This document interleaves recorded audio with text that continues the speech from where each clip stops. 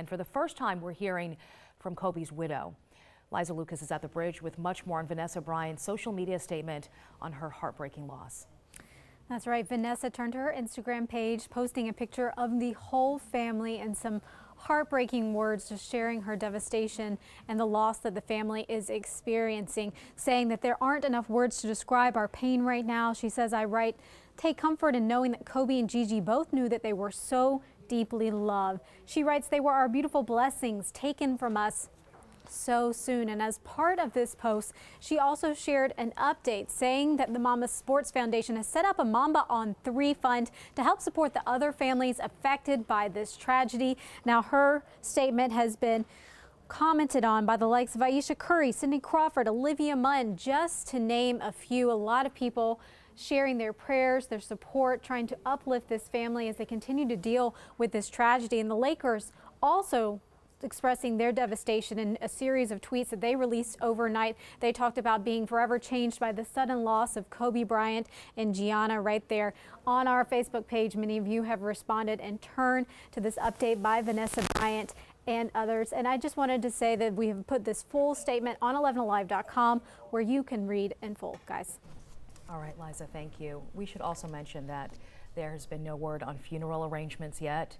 Um, but when I first read Vanessa Bryant's statement, uh, I can I can hear her pain. I can feel her pain.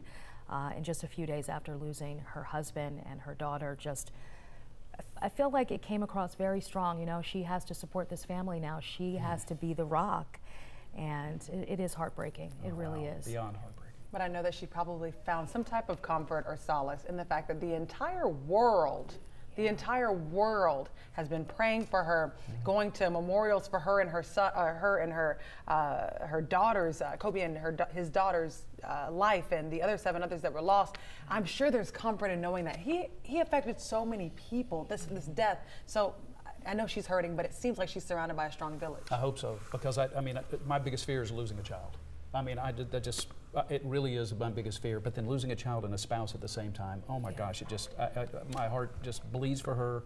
And I'm praying for her and her family, and I'm glad they're surrounded by mm -hmm. people who can mm-hmm. support them. Not just you, but yeah, the world praying for her. Uh, and she said that in her, her statement, uh, and has to be that strong. We can't fathom this. No so imagine what she's going through. So it's good that you know she has that support system, and uh, she's got to move forward. And hopefully the community will be right there to help her do that. Absolutely. that. And of course, folks, you can actually chat with us about this full story on our Morning Rush Insiders Facebook page. Um, in fact, again, I'll repeat it, mambaon3.org.